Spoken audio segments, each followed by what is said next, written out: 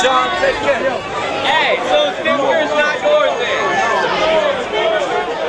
Sean, so are you ever gonna get a Fisker though?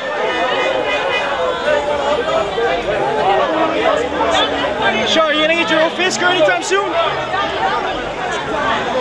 Hey, you should just get a Fisker just like it. I should, right?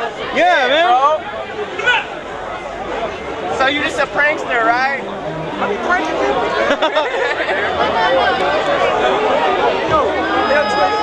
No more pranks, man. They're gonna drive. They're gonna drive Justin Bieber's fans crazy.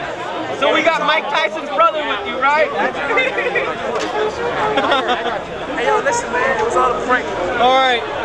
Alright, man. All right, we Sean. you can buy Have a your own night, man. bro. I'm gonna buy one just for you guys. All right. Buy buy us one one too, Brad. man.